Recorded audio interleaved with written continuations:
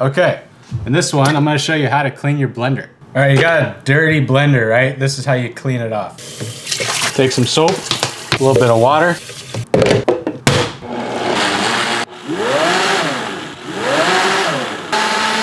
Then just fill it up with some more water. There we go, clean blender.